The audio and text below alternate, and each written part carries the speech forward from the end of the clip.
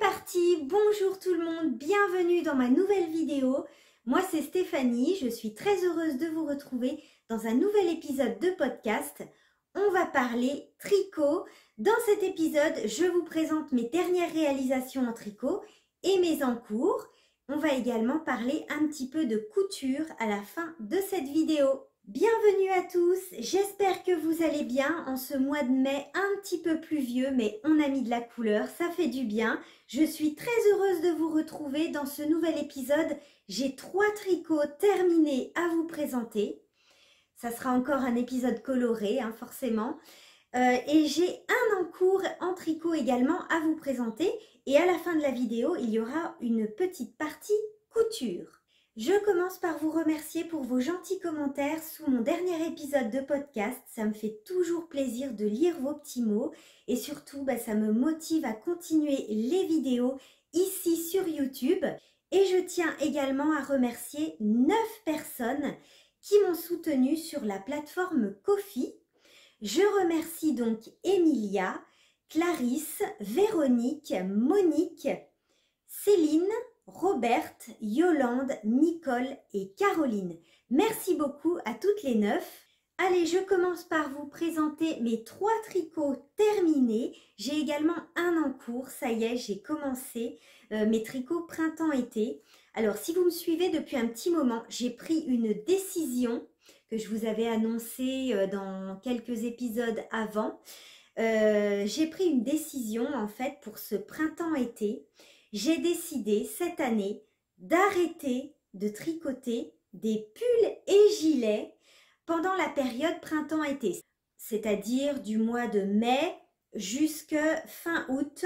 J'ai décidé donc d'arrêter de tricoter des pulls et gilets et de piocher dans ma liste d'envie euh, plutôt les tricots que je ne fais pas le reste de l'année, c'est-à-dire des accessoires, euh, et puis également des t-shirts, des petits débardeurs, tout ce qui est en fait tricot printemps-été. Donc ça y est, j'ai commencé euh, mes tricots pour les beaux jours puisque euh, je suis en train de tricoter un t-shirt que je vais vous présenter tout à l'heure.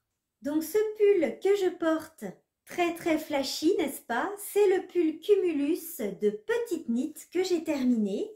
Vous l'aviez vu en cours lors du dernier épisode et le voici terminé, je suis très très contente de l'avoir tricoté. C'est ma cinquième version, mais bon, ce pull-là, hein, on s'en lasse pas. D'ailleurs, Petite Knit vient de sortir le pull Cumulus au neck, c'est-à-dire avec un col rond. Donc, bien sûr, il est sur ma liste. Celui-ci, je vais le tricoter également. Mais celui-ci a un col V. Et vraiment, je l'aime beaucoup ce modèle. Il est assez facile à tricoter. La seule petite technique, c'est, euh, on va dire, l'i-cord. C'est vraiment pas une difficulté, hein. c'est une petite technique en fait. Vous voyez, ce pull a des finitions en i-cord. C'est un petit cordon en fait qu'on vient tricoter sur le col, le bas des manches et également en bas du pull. Mais pas de panique, je vous ai proposé un petit tuto euh, sur ma chaîne YouTube. Il pourra vous aider pour réaliser euh, les i-cords du pull Cumulus. Dans cette vidéo, donc, je vous montre comment faire un i-cord et surtout comment terminer proprement un i-cord en rond par un grafting. Alors, je vais déjà vous parler de la construction du pull et ensuite je vous parlerai de la laine que j'ai utilisée. Donc, le pull Cumulus de Petite Knit est un patron qui est disponible en français et en anglais. Je vous mets le lien direct vers le patron dans la description de cette vidéo. Vous pouvez retrouver donc le patron sur Ravelry, mais également sur le site de Petite Knit. C'est donc un pull qui se tricote en rond, c'est du tricot circulaire, donc sans couture. Il se tricote du haut vers le bas avec des manches raglant. Vous voyez ici, il y a une maille raglant. Et on vient faire des augmentations de part et d'autre de cette maille raglant. Les manches et le corps sont tricotés en rond. Donc ce modèle est très facile à tricoter. La seule petite technique de ce modèle, on va dire que c'est l'icord, mais c'est vraiment pas une difficulté. Et n'hésitez pas à regarder euh, mon tuto qui pourra vous aider pour réaliser l'icord euh, et le terminer proprement de façon invisible, hein, puisque c'est un icord en rond. Donc il est très important de faire un grafting à la fin de votre icord pour une finition invisible. Autre chose très importante à savoir pour tricoter ce modèle, il faut absolument suivre les explications du patron concernant l'icord. Dans ce patron, vous verrez qu'il y a donc définition en icord pour le col, le bas euh, des manches et le bas du pull. Mais Petite Knit nous explique qu'il faut faire des diminutions dans l'icord, donc en tricotant l'icord, euh, pour le bas du corps et les manches. Ces diminutions sont très très importantes, il faut absolument les faire.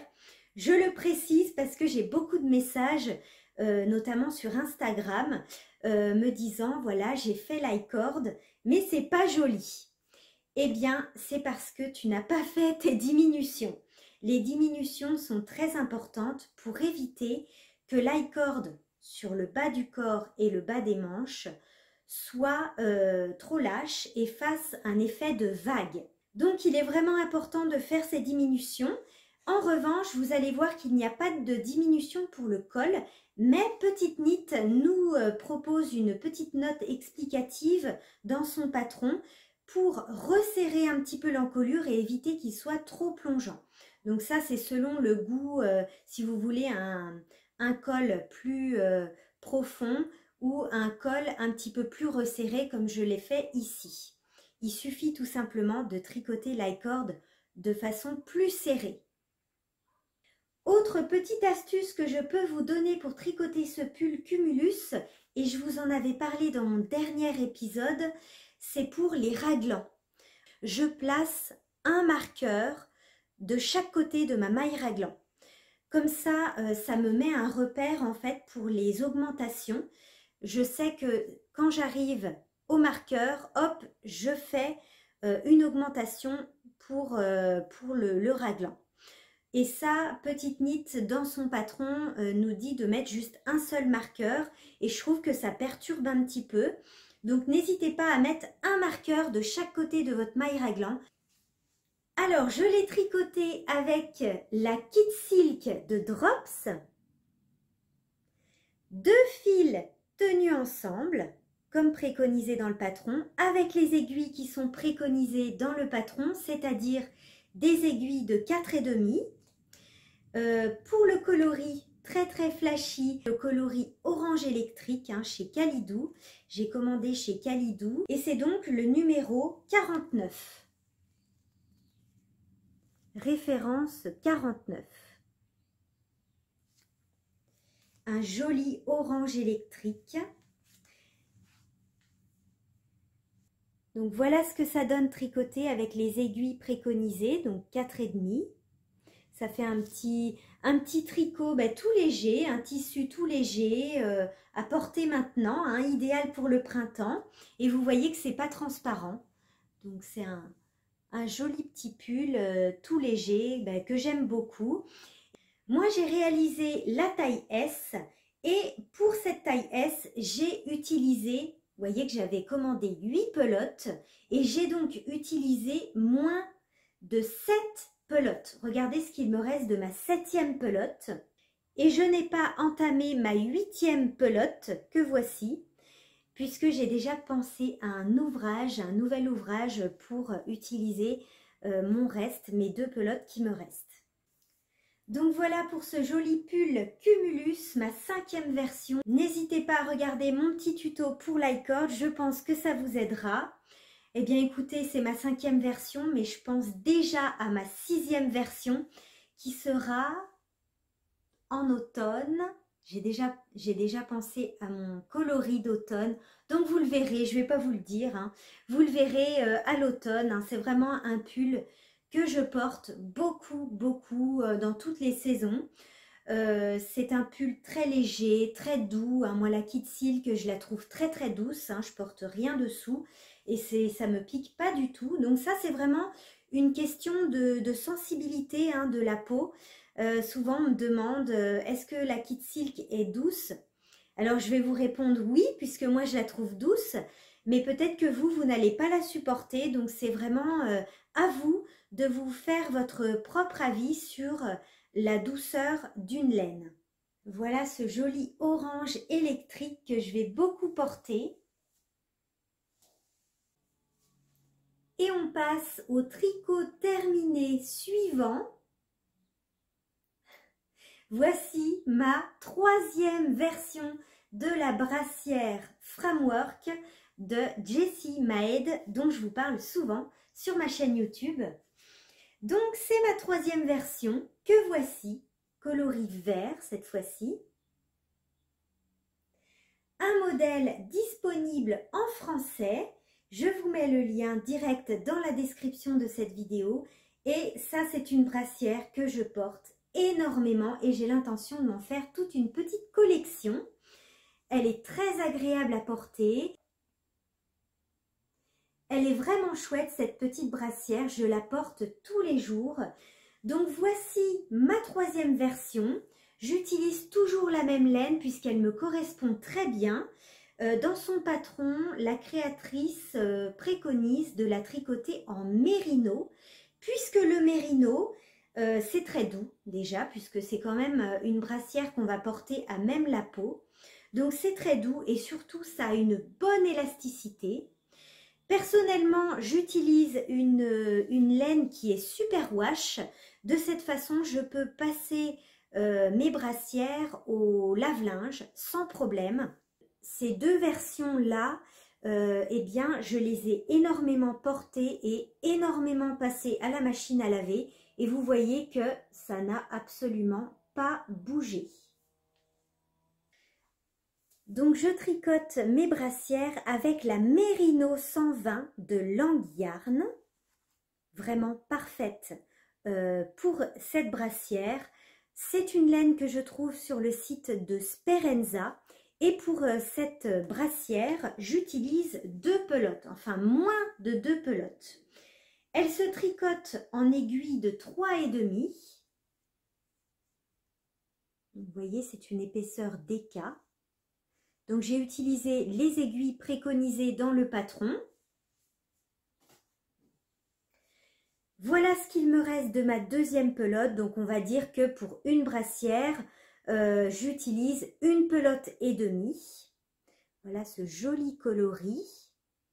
Je vais vous donner le numéro du coloris. C'est la Merino 120 coloris 34 02 97. Joli vert mousse avec des jolis reflets.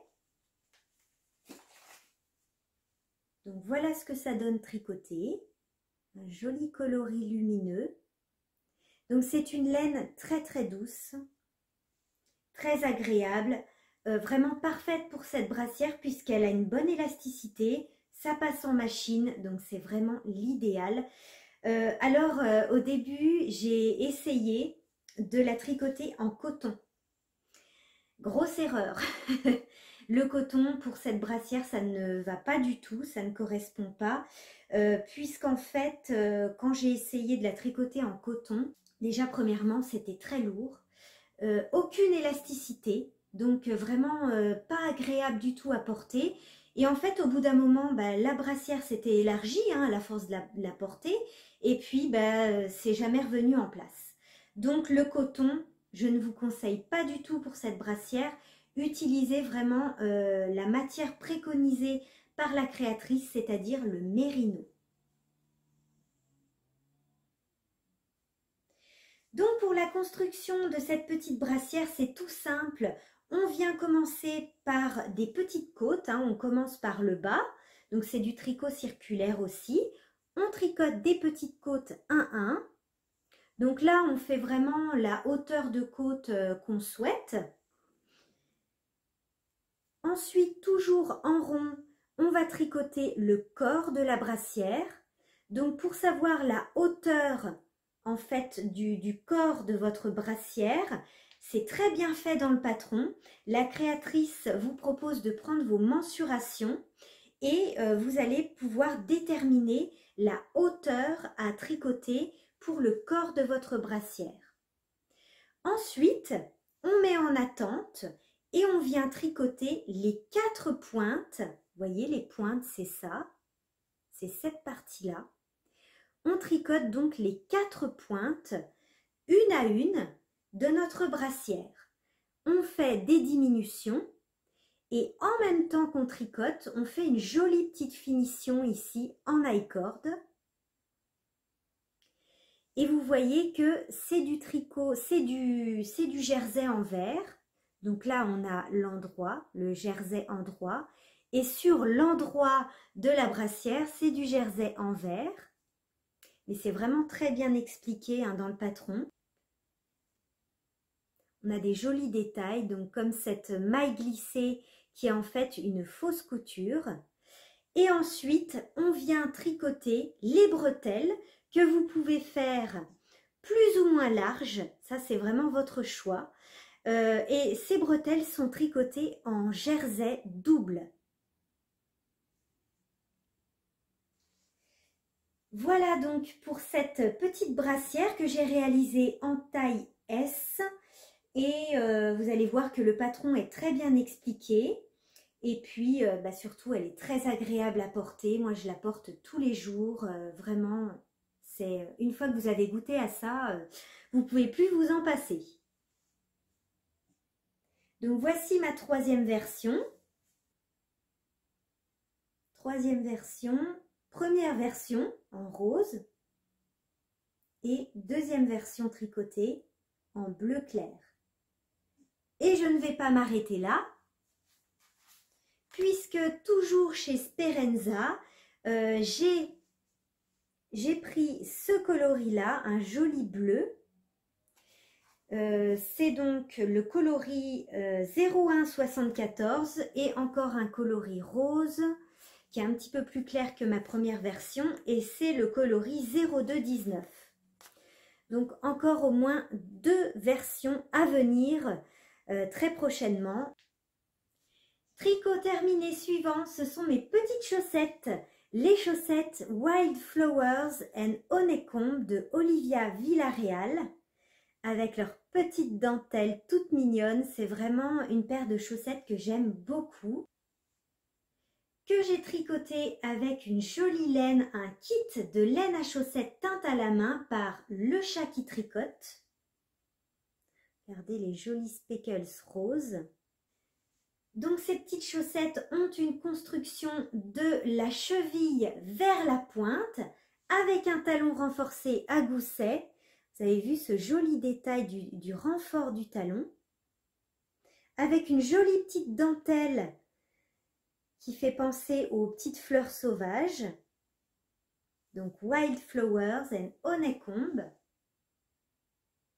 La petite dentelle est très facile à retenir. Je peux vous dire que j'ai regardé ma grille euh, du patron en fait euh, ici. Et ensuite pour tout le reste de la chaussette, je n'ai pas du tout regardé euh, la grille. Donc c'est très simple à retenir. On commence par un petit montage élastique avec des petites côtes 1-1, torse. Vous voyez, ça fait des petites côtes en relief, c'est super joli. Ensuite, on tricote euh, la cheville avec cette petite dentelle. On fait un talon renforcé à gousset avec un joli renfort. Dans le patron, vous avez deux styles de renfort qui sont proposés.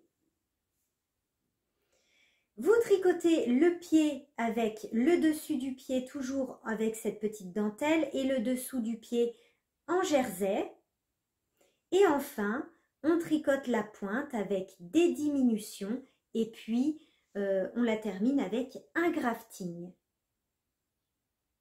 Donc voilà la laine que j'ai utilisée pour mes petites chaussettes. C'est donc un kit de laine à chaussettes qui brille. Donc c'est une laine teinte à la main par Le Chat qui tricote, qui est une mercerie qui se situe à Aix-en-Provence. Une jolie laine à chaussettes qui m'a été offerte par mon amie Sandra, que je remercie encore. Donc, c'est le coloris Cabaret et le coloris Barbie. Et donc, c'est un écheveau de 400 mètres pour 100 grammes, donc un écheveau de, de fingering. Et voilà ce qu'il me reste après avoir tricoté euh, mes chaussettes White Flowers. Et donc, il me reste plus de la moitié d'un écheveau. Donc ça veut dire que euh, je vais pouvoir tricoter des autres chaussettes. Et regardez, même à la laine contrastante, il me reste tout ça. Donc je pourrais tout à fait tricoter les mêmes, mais euh, j'ai prévu une autre paire avec ce qu'il me reste. Voilà pour ma petite paire de chaussettes très printanières que j'aime beaucoup et que j'ai adoré tricoter. Je remercie Marie pour euh, le patron puisqu'elle m'a offert le patron de ces jolies chaussettes sur Ravelry et je vous mets le lien vers la laine et le patron dans la description de cette vidéo. D'autre part, si vous souhaitez réaliser des chaussettes, je vous propose également deux tutos euh, sur ma chaîne YouTube, des tutos complets euh, sur les chaussettes. Donc vous avez deux constructions disponibles, de la cheville vers la pointe avec un talon renforcé à gousset ou inversement un autre tuto de la euh, pointe vers la cheville avec un talon en rang raccourci. Ces deux tutos sont disponibles sur ma chaîne YouTube. On va passer maintenant aux encours, enfin ou plutôt à l'encours puisque j'ai un seul tricot en cours en ce moment. Et j'ai commencé mes tricots été puisque je tricote un joli fil d'été, c'est la Brisa de chez Katia je vous avais parlé euh, la dernière fois. Regardez comme ça brille. Elle est vraiment magnifique. Enfin, c'est un fil très très joli qui est composé de coton et viscose. 60% euh, coton et 40% viscose. Regardez la brillance de ce fil. C'est un joli vert. C'est le numéro 67 que j'ai trouvé sur le site de Katia et je tricote un t-shirt pour l'été. Alors, comment vous montrer ça puisque c'est pas très chouette, hein, c'est le début. Ah bah si, je vais peut-être pouvoir vous montrer comme ça. Voilà le tout début de mon t-shirt. Ah, ça va rien vous dire comme ça. Alors ça, c'est le dos.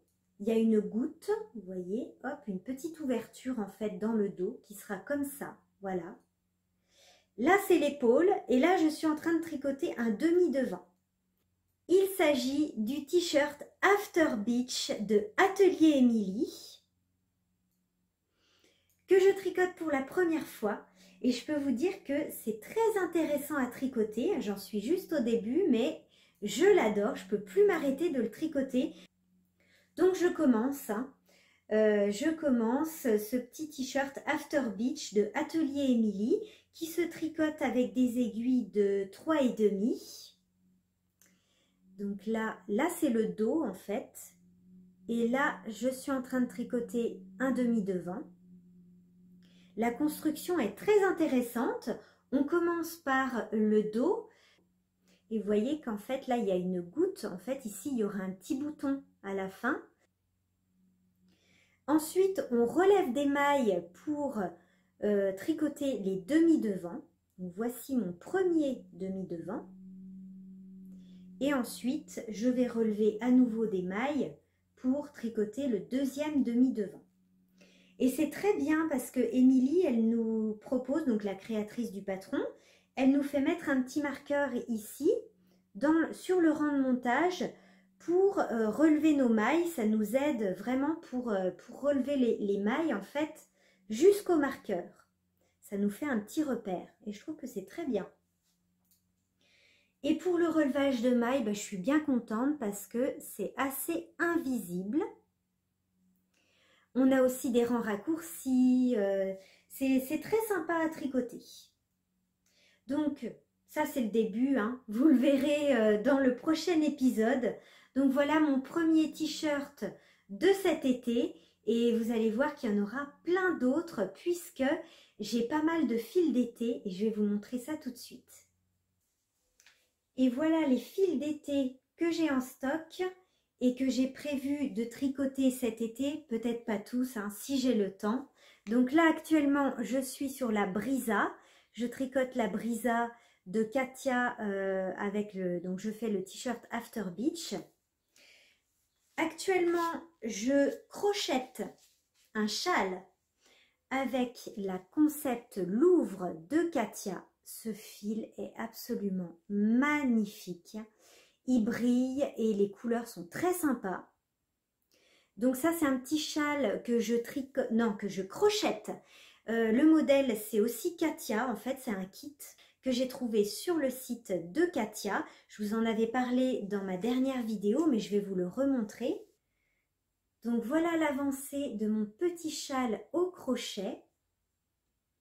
Regardez les détails, c'est super joli. La laine, enfin, le fil est vraiment magnifique. Hein. C'est le fil Louvre de chez Katia. J'ai tout de suite craqué quand j'ai vu ce modèle. Donc c'est mon premier châle au crochet et je suis très contente de le, de le crocheter. Je le fais un petit peu de temps en temps et c'est vraiment très plaisant à réaliser. Donc ce patron est disponible au prix de 2,50€ sur le site de Katia et euh, vous pouvez également acheter euh, le livre où il y a euh, plusieurs modèles. Donc je vous en avais parlé dans ma vidéo précédente. Mais si vous voulez, je vous mets également le lien vers le patron si vous souhaitez le faire aussi. Comme ça, vous aurez le lien. Donc tout ça est à retrouver dans la description de ma vidéo. Donc voilà pour le second euh, fil d'été. Ensuite, j'ai ces trois fils-là. Donc celui-ci, je l'ai depuis l'année dernière. Je ne l'ai pas encore tricoté, mais il est très sympa. Et je pense déjà à un petit modèle, un petit t-shirt. Euh, je vous en parlerai bientôt.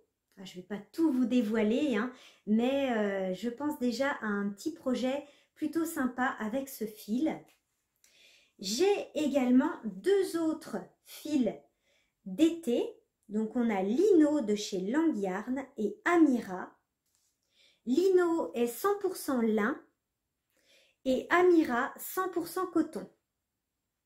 Très doux. Il est très très doux le Amira. Et pour tricoter ces deux fils, j'ai reçu ce magnifique livre Belle matière de chez Langyarn et j'ai été très étonnée à l'intérieur, il y a des superbes modèles. Donc ce livre m'a été envoyé par la marque Langyarn et à l'intérieur il y a de superbes modèles que j'ai très envie de me tricoter comme par exemple ce petit débardeur qui est tricoté en lino. Donc voilà un exemple de ce petit débardeur qui est tricoté en lino. Vous voyez, il a de la dentelle dans le bas donc c'est tricoté à plat par contre, mais je pense que c'est assez simple euh, pour les coutures, ça ne doit pas être bien compliqué. C'est du tricot à plat. Ensuite, j'ai repéré ce t-shirt là, très joli, avec un col V et de la dentelle sur les manches et sur le bas du corps. Ah, ce, livre a vraiment de très beaux modèles. Hein. Regardez, là on voit donc le t-shirt que j'ai repéré et le petit débardeur en lin. Euh, on a également ce petit caraco là qui est très mignon. Qu'est-ce que j'ai repéré d'autre en... Voilà, il y a également il y a également ce t-shirt raglan qui est très sympa, à tricoter en lino, hein, il me semble. Oui, avec la lino. Et mon coup de cœur, c'est... Voilà. Et mon coup de cœur de ce livre, c'est ce t-shirt-là. Il est super beau et il est tricoté en Amira. Donc la Amira, donc la Amira, c'est celle-ci. C'est cette laine-là, enfin c'est ce, ce coton, donc 100% coton. Regardez ce joli t-shirt qui est aussi tricoté à plat, mais que j'ai bien envie de réaliser avec la Amira. Et j'ai regardé la construction, ça n'a pas l'air difficile, même si c'est du tricot à plat. J'ai vraiment envie de le tenter, il a l'air vraiment sympa. Voilà, ce livre a de très jolis modèles. Qu'est-ce que je peux vous montrer? Regardez ce petit pull très fin, tricoté en lace, très léger. Il y a vraiment des modèles sympas. Regardez celui-ci aussi, il est très sympa. Qu'est-ce qu'il y a d'autre? Voilà. Et donc, il y a 15 modèles. Regardez ce petit cardigan là aussi avec la dentelle. Super joli. J'avais vu un châle aussi. Il y a aussi ce châle là qui est plutôt sympa avec sa jolie dentelle. Je suis ravie de ce livre. Donc c'est Belle Matière de chez Langyarn. Allez, on va maintenant parler couture avec la crafting box de printemps que j'ai adoré comme d'habitude. Deux super beaux modèles, un joli tissu, je vous présente ça tout de suite. Dans la crafting box, comme toujours, vous avez deux modèles. Pour cette box de printemps, il y a la jupe pivoine et la blouse rose. Donc moi j'ai choisi de coudre cette fois-ci la jupe, elle est super jolie avec sa petite ouverture, elle a plein de jolis détails, elle est facile à coudre. Mais la blouse me plaît aussi, donc je vais la coudre très prochainement. Donc c'est la blouse rose avec plein de jolis détails aussi. Vous voyez, elle a un petit col bien sympa. Voici ma jupe pivoine. Donc c'est une jupe longueur midi avec plein de jolis détails. Et regardez ce beau tissu coloré, vraiment magnifique. Il me plaît beaucoup ce tissu. Donc c'est un tissu très fluide, hein. c'est une viscose euh, lavable en machine à 30 degrés. Elle n'est pas transparente, donc euh, c'est important à savoir pour euh, réaliser la jupe. Hein. il ne faut pas avoir peur, elle est vraiment pas transparente. Je ne l'ai pas doublée, hein. j'ai suivi les explications du patron. Vous voyez qu'elle est pas du tout transparente super jolie. J'adore les couleurs. Elle est vraiment magnifique cette petite jupe. Elle a plein de jolis détails. Euh, donc en fait, regardez, vous avez des petits plis, tout un jeu de plis au-dessus, donc sous la ceinture. Voyez, il y a plein de plis devant et derrière. Hein. Donc cette jupe se ferme avec une fermeture éclair, donc qui est située sur le côté. Autre petit détail très sympa, la petite jupe a une ouverture au niveau de la cuisse en fait. Voilà. Donc c'est un modèle très sympa à réaliser, très simple, il n'y a vraiment pas de difficulté. Euh, le tissu se coud très très bien. J'ai coupé la taille 36, donc ma taille habituelle, et comme d'habitude, ça tombe toujours très bien. C'est vraiment bien taillé. Et c'est toujours très très bien expliqué. Hein. Si vous voulez euh, apprendre des nouvelles techniques, si vous voulez progresser en couture, je trouve que cette box est vraiment idéale. Euh, vous avez en plus deux patrons dans chacune des boxes. Donc c'est tous les deux mois. Hein. Et euh, vous avez donc deux patrons. Donc c'est tous les deux mois. Vous la recevez tous les deux mois. Et dans, le, dans la box, vous avez deux modèles. Donc c'est un patron papier. Hein. c'est une planche patron que vous pouvez également avoir en PDF sur le site et euh, en rentrant en fait votre code. Et donc vous avez un tissu pour réaliser un des deux modèles et puis tous les accessoires nécessaires pour réaliser euh, les modèles qui sont présents, qui sont proposés dans la box. Voilà pour ma petite jupe pivoine que je vais adorer porter.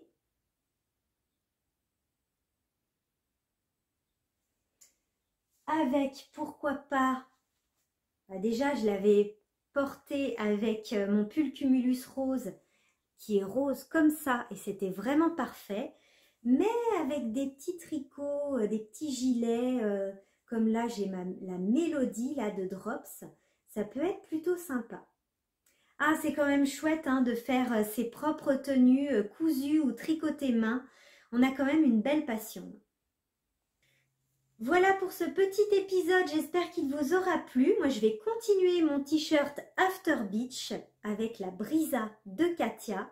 Vous le verrez terminé dans mon prochain épisode. Je vais essayer de revenir quand même bientôt puisque là, je fais des petits tricots euh, assez rapides. Hein. Vous verrez que cet été, Il n'y aura pas de pull et gilets, mais euh, que des petits, voilà, des petits tricots d'été, euh, comme le t-shirt, des accessoires, etc. Des chaussettes aussi. Donc vous verrez tout ça dans les prochains épisodes. En attendant, merci à tous d'être de plus en plus nombreux à me suivre ici sur YouTube et sur Instagram. J'espère que cet épisode vous aura plu. Je vous dis à très bientôt et je vous souhaite de très bons moments tricot. À bientôt